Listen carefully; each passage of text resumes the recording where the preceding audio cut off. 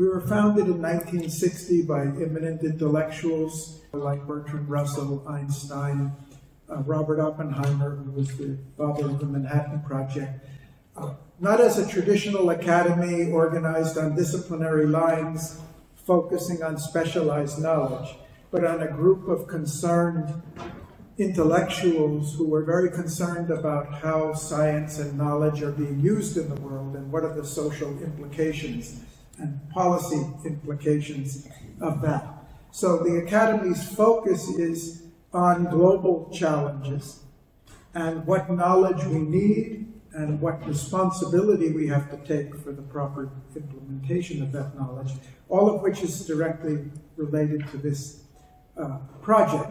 We're a member of ECOSOC. We have an ECOSOC uh, special consultative status. We're, we're, linked with the UNESCO. But our, this project has its roots back in, 19, in 2013 when we partnered with the UN here in Geneva for a conference on global challenges and opportunities in the 21st century. And we had about 200 diplomats here looking at what those challenges were and what should be done about them. And the Academy has spent the last six years doing research and conducting further deliberations based on what we heard then. At, the, at this point, about a year ago, uh, we came to the conclusion that there was a very important topic which we had not sufficiently covered and which our own research had not sufficiently covered, uh, which was not specific to any of the, the, not limited to any of the problems we were talking about, political, economic, social, uh, uh, military issues, immigration issues, financial crises. We looked across the boards at them, but applied to all of them. Uh, and that's really the purpose of this project. Uh, we have many organizations, both within the UN group, at the national level, in the NGO community, and elsewhere, that are focusing on specific issues, the sources of the problems, strategies and remedies for the problems and all. But there's something we all have in common, whatever field we're going in. And that is, how do we effectively accelerate changes in the society? How do we make it faster and more effective than it is today? We are in a world of increasing speed, unprecedented speed, complexity, uncertainty, and also a growing frustration that as a global community, we're not responding to the challenges we face effectively and certainly not rapidly enough. We've got the ecological crisis breathing down our neck uh, every day uh, to the level where uh, the, the term that seems most appropriate today is not to talk about even a crisis, but an emergency, that we have to act. Uh, and the question is, is there something more we can do? Is there something more we can learn about social change so that we can be more effective agents of social change? And when I say we, I'm including everybody, I mean the global community.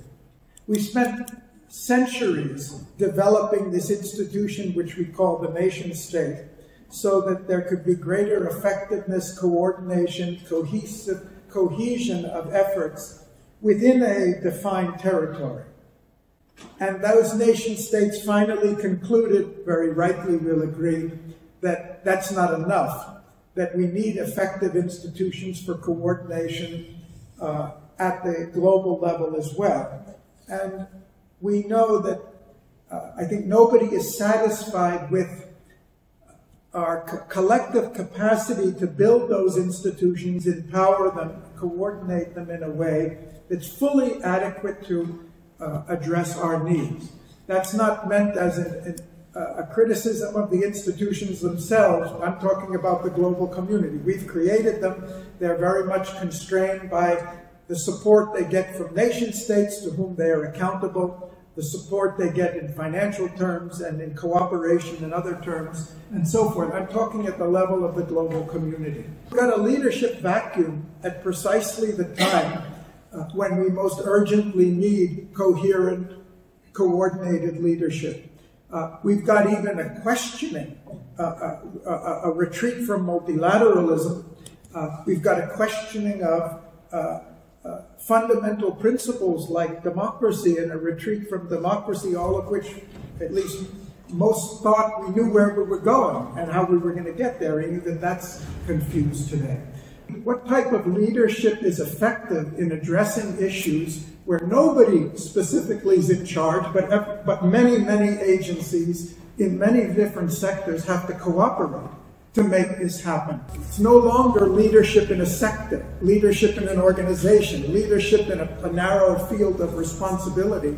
We've got to look at leadership in its widest context of the interdependence between different sectors of the global society and how do we coordinate and uh, progress so that we're not going forward in some areas and backward in the others. It's not just a question of individuals. Setting goals is a form of leadership, shared, creating a shared vision, projecting values that we all share. Organizations working together are a, a power, can be a powerful form of leadership, as many of you have seen and seen, even though you're uh, relative to the, the, the, scope of the world and the resources you have, you've seen how international organizations can play a catalytic role way beyond their mandate, their financial resources, uh, and all, as a catalyst for something larger themselves. Uh, values can do that, ideas can do that uh, even measures, indicators of progress. When we started this project, one of the requests of the Director General was, please, please be sure that we also talk about the need to replace uh, GDP as our, uh, as our measure, because here's a measure that's categorically contradictory to uh, achieving many of the SDGs that we hold so, uh, so dear that we, we must do. So we know that also is a leadership role in getting in, in the right types of measures. The right types of theories. In our international group on economics, we're arguing that unless we change our theoretical conceptions, we're not going to get the changes in policies and institutions we need because the institutions are relying on the theory uh, of academia as the justification for what they're doing. Uh, and unless we challenge the theory itself. So this goes all the way back to our educational institutions, to our research institutions and all, and even to the type of thinking we do. We need to, we need to be teaching our youth in, a, in the educational system uh, to look at things in a much more global, inclusive way as complex systems uh, as human-based systems, not mechanical uh, uh, apparatus, and how do we put the humanity back into our education and our social sciences. All of this is part of it. So we're not excluding anything, but we're looking, we're trying to look at the, all the dimensions and see what we can learn from what has uh, worked in the past. And finally, how do we get, rouse the, the, the, the, the public uh, to act in a way to actually carry out the changes in culture, the changes in behavior that we need. We have examples of all these things in the past. Not at the level and magnitude that we need today, but we have enough knowledge, if we mine that knowledge and systematically apply it collectively. And that's the purpose of this project. So let me tell you a little bit more about the project. We conceive of it with five stages. The first is uh, consultations with the stakeholders, and that's going to take place for about a year. And uh, this is the, the purpose of this briefing was really to start those discussions. We want to find out from you who are interested and willing how we can consult with you, how we can learn from your experiences, what you have to share with us, and how we can do that over the next one year. Then a year from now, and I think the dates have already been finalized, October, at least provisionally, October 27th and 28th, which is just the week of the 75th anniversary of the UN uh, uh, on the 20th, which happens to fall on a Saturday, the 24th. Uh, so we'll have a, a large gathering here uh, uh, in, at the UN in Geneva uh, of representatives of all these stakeholder groups and others to feed back the results of these consultations and to project them to a larger community. There'll also be a final written report which we are inviting our stakeholder partners to contribute to, as you and many others we're in touch with. I mentioned a few uh, as we go on. And then after the conference and the report, for us it's really just the beginning, because the question is how do we how do we reach out to educational institutions, training institutes? How do we use the media? How do we use the arts and other forms of communication to take the knowledge that comes from the project and reach out to as far as we can to the global community. So if we have media and uh, experts and many of your organizations have a lot of experience with this, we would welcome uh, knowledge of that as well. And then to see specifically as we go through, what can this project contribute to the achievement of the SDGs? SDGs is not, uh, it's, a, it's a big enough target uh, to be. We're not exclusively on that, but if, if we can contribute to that, we would feel certainly the project's been very beneficial.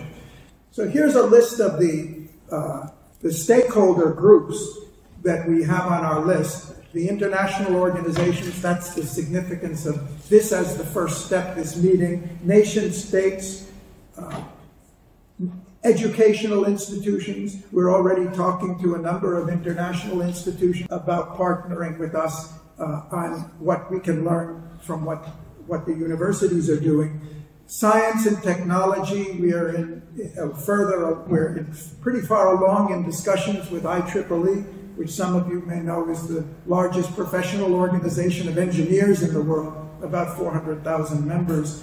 And we've had detailed discussions with them, uh, and they're interested to be one of our consulting partners.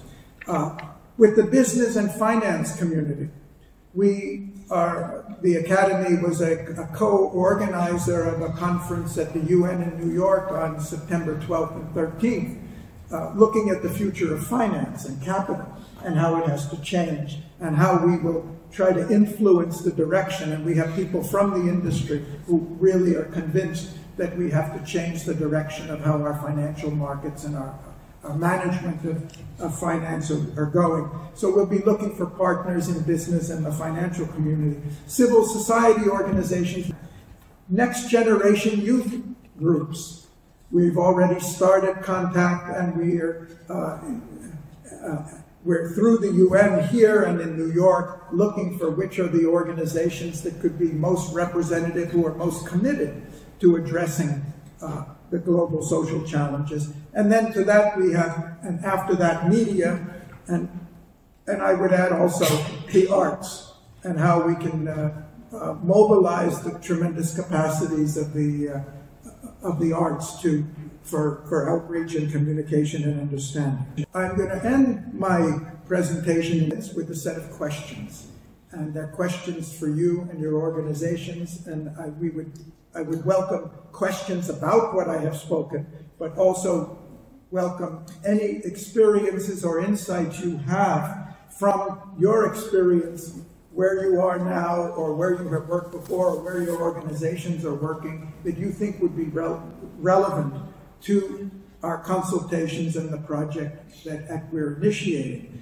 So our, for the consultations, our steps are, first of all, to identify partners within UN agencies and national governments who would like to partner with us, have something they would like to contribute, and then we will work with them on how do we do that in the most effective way.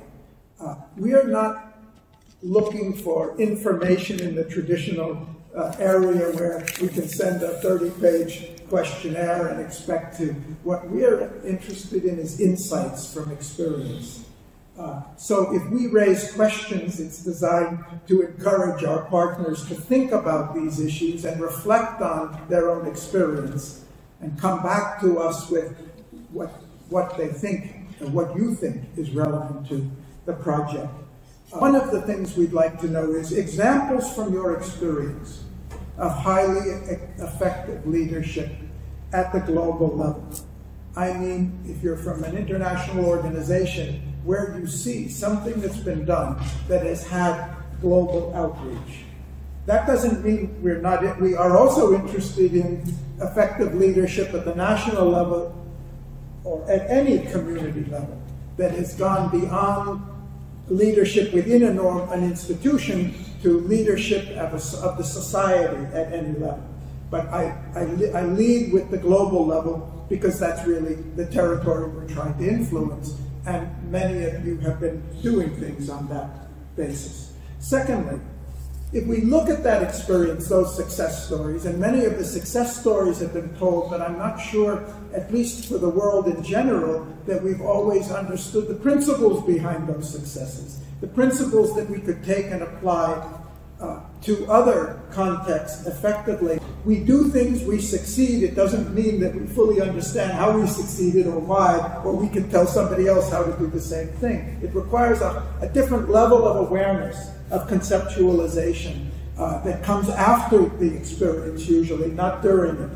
Uh, so, uh, we'd like to help, we'd like to work with you and learn to think about your successes and what we can learn from it that could be transferable to other areas.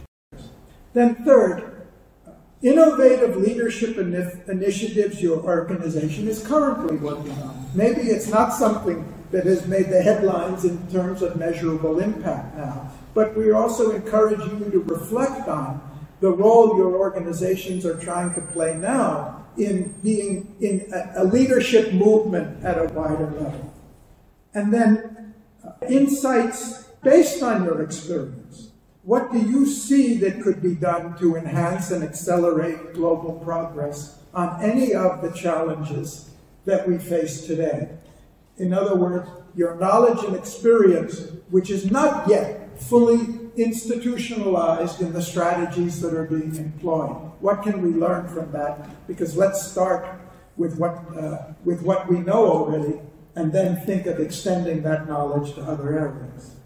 And then fifth, what's the kind of change in thinking we need in order to unleash effective action?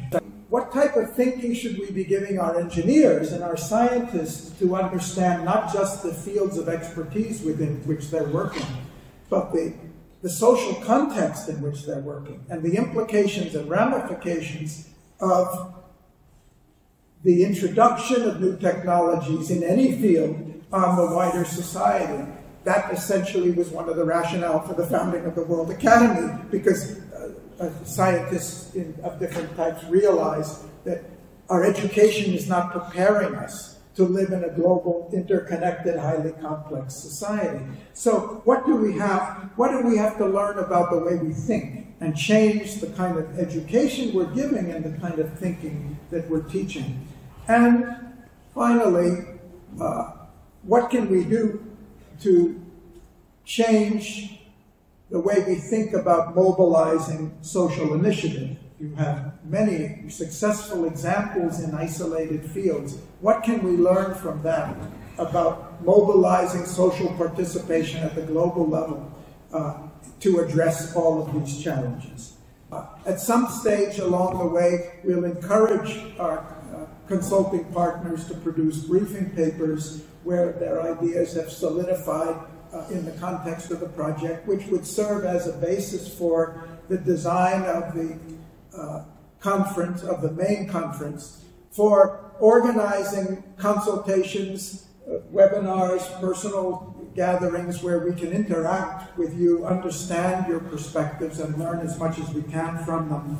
And then after the main conference, to also give inputs to the final report uh, so that we could, you would have an opportunity to contribute uh, in writing what you think is really important. So we're sure that it's taken into account at the time of the project, the final report. And after the main conference, we'd also be looking at how we can work together uh, and in what form, how we can have an alliance of those who really, uh, who really buy into this idea that yes, it's not enough we lead in a field. Uh, it, it, we have to figure out a way uh, to lead uh, uh a group the, at, from, that's, that's all encompassing, that doesn't have any limits or categories or divisions in it.